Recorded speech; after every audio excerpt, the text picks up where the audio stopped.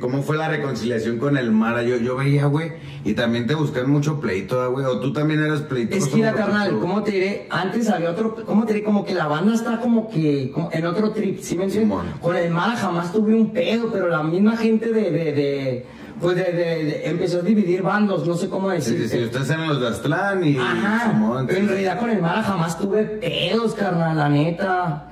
Y ya, la neta, ¿cómo estuvo el pedo con el Mara? La neta, ah, fue un evento en Michoacán, perro, ¿verdad? Simón, Y ya todo el show eh, nos hospedaron en el mismo ¿Hotel? En el mismo hotel, perro. Y ya estábamos los de la Onder, yo y el Mara.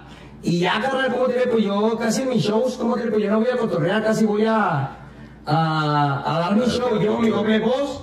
Y ya las personas que me iban a vender mi mercancía. Y eso fue lo que me aplaudió el Mara, ¿cómo te? Porque yo llegué solo con él, carnal. Porque sí, sí me ajeró y todo el show, y ya aclaramos pedos y todo el pedo. Pero lo que me aplaudió fue que me dijo, güey, vienes tú solo, perro, ¿sí me entiendes? ¿Cómo, Sí, carnal? sí, o sea, no ocupas traer. No, comadre, ese perro, la neta, otro rollo, carnal, jamás me que fuera así, de, de bien humilde, perro, la neta. Ay, bien buen pedo, Es bien buen perro, pues sí harías algo con él. No, y te sigue, comadre, carnal, y te digo, no, carnal, la neta sí me ajeró de primero, qué rollo, perro, y ya después aclaramos puntos de que, pues, no, en realidad nunca hubo pedos, fue la misma... La misma gente La misma manera, perro. mitote, ¿da, güey? Simón.